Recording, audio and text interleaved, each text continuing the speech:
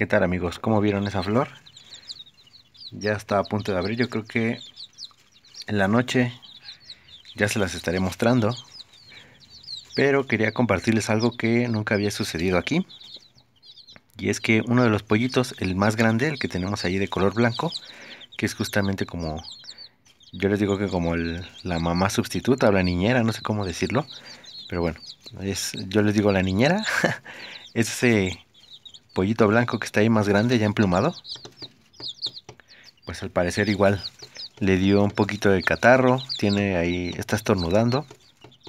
Lo interesante es que ninguno de los demás pollitos está enfermo o presenta algún síntoma, solamente está él, ¿no?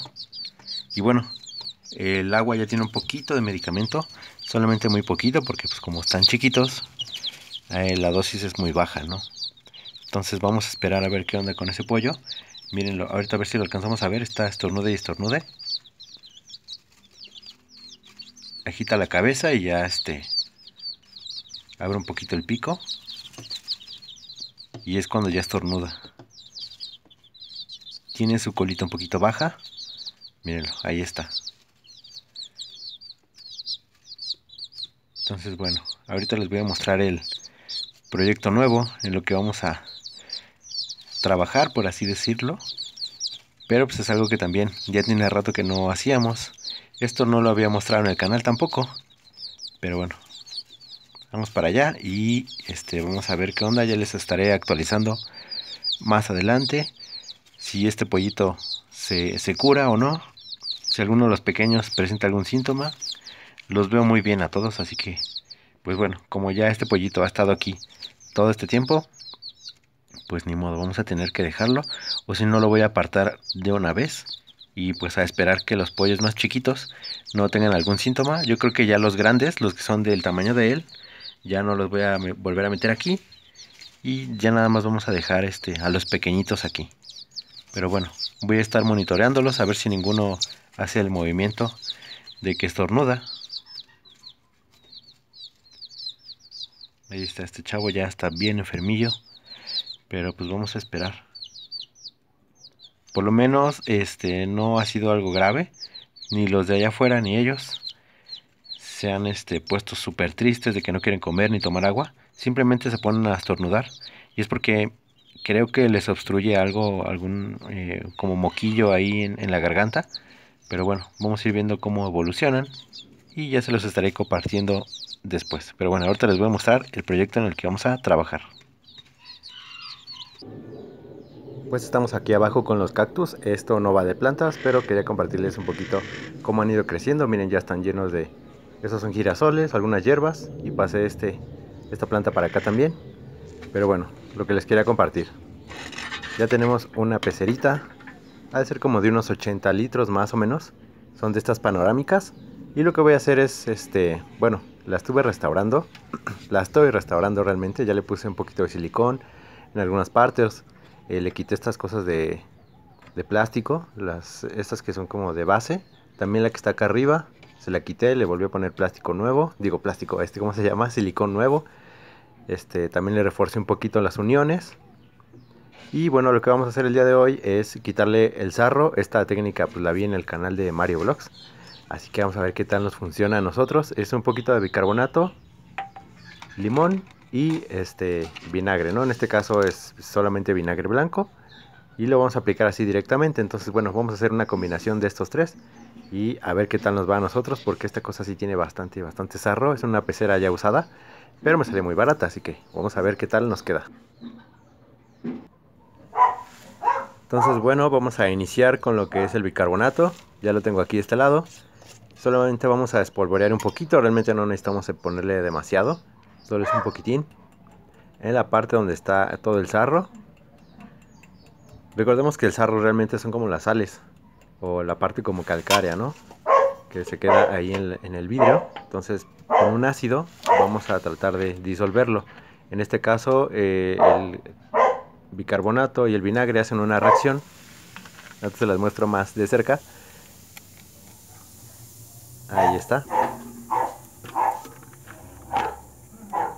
Entonces, bueno, esta reacción nos va a ayudar a, deshacer un poquito lo que es el sarro, que es una especie como de de capita de como algo duro, como una piedra, ¿no?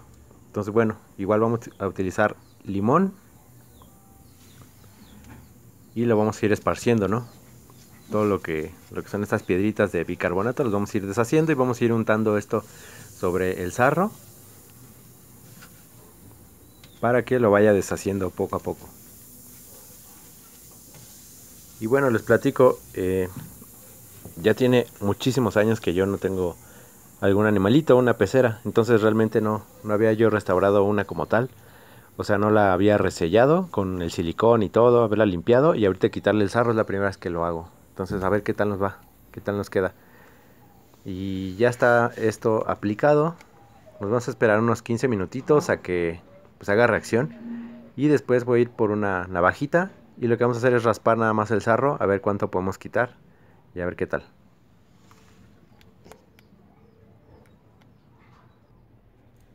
Ya pasaron los 15 minutos, ahorita lo que voy a hacer es nada más raspar con esta cuchillita que es de un cúter.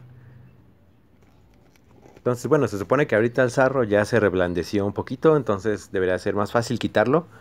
O por lo menos pues tener buenos resultados, ¿no? O sea, que no se vea ahí todo feo. Entonces, bueno, lo que voy a hacer es nada más raspar este lado.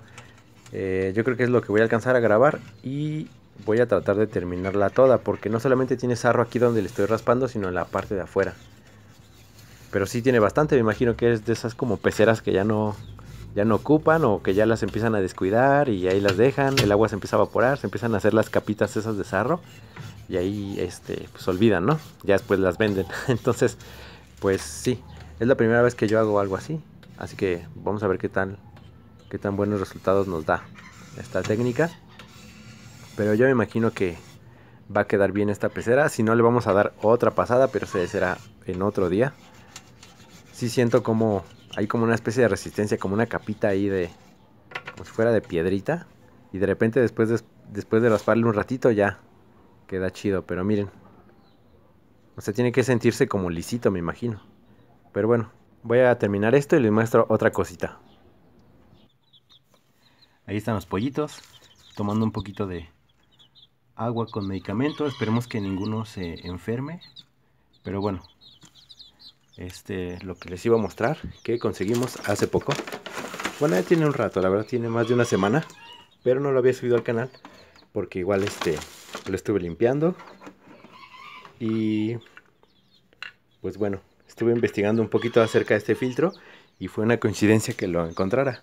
Ya luego les platicaré la historia, pero realmente eh, según yo este filtro es un Elite 55 eh, y hasta donde sé ya no lo fabrican.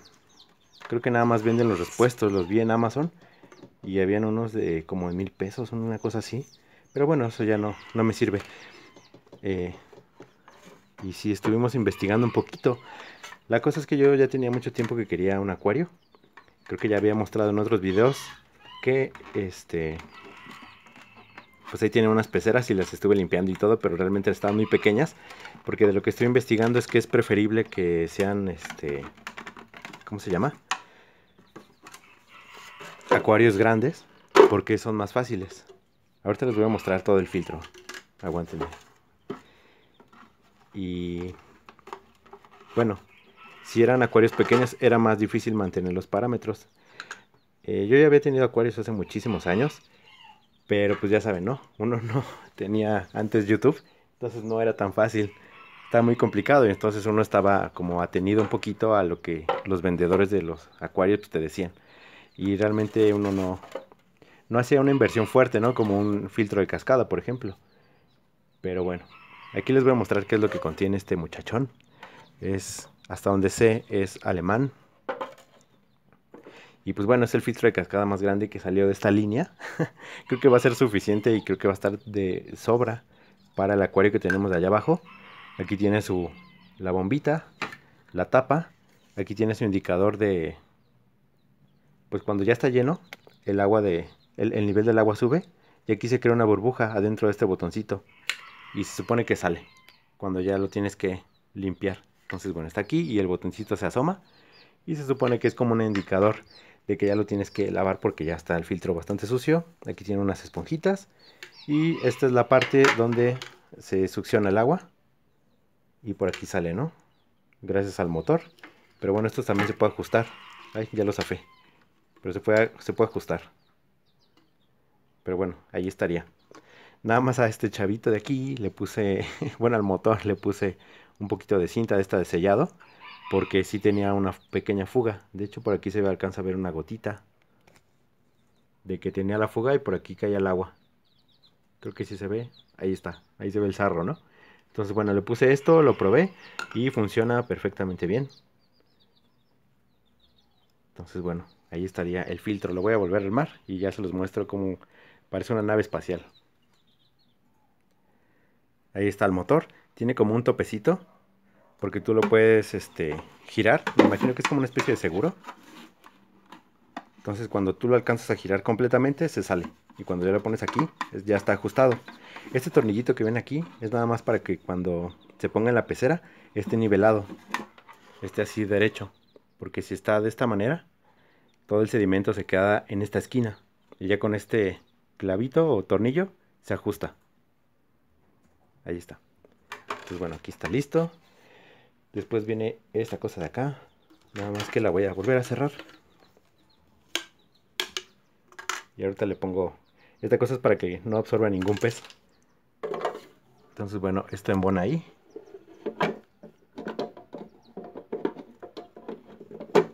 Ahí está. Entonces el agua sube de este lado. Aquí tiene qué tan qué tanto quieres que filtre, si filtre mucho o poca agua como el flujo del agua y saldría por este lado. nada más le ponemos las esponjitas que tienen esta canaleta para que ajuste bien.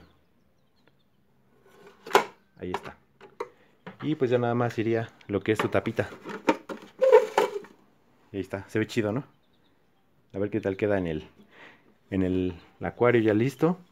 Y tenía bastante sarro, pero pues se lo intenté limpiar con un poquito de, vinagre. Ahorita como le hicimos a la pecera, pero no se lo alcancé a quitar todo porque esto no lo puedo raspar, se vería bastante feo. Entonces a este nada más le puse el vinagre así, se lo dejé un día completo y pues no se le alcanzó a quitar mucho, ¿no? Pero bueno, ahí estaría este filtro y pues nada. Era un poquito lo que les quería mostrar del proyecto que vamos a iniciar más adelante. Todavía este me faltan algunas cosas, sobre todo de investigar. Y este, algunos materiales, el calentador, todo lo que va a ser el sustrato. Bueno, eso ya depende un poquito del diseño que yo vaya a armar y de los peces que vaya a tener. Pero antes de comprar peces y todo ese show, este, quería armarme primero la pecera y el filtro, ¿no? Que fue lo más, este, uno pensaría que es el gasto más fuerte que tuve, pero no. Si les digo cuánto me costó, no me lo van a creer. y la suerte que tuve, de hecho, para conseguir este filtro que ya está descontinuado y la pecera. Pero bueno, eso es lo de menos.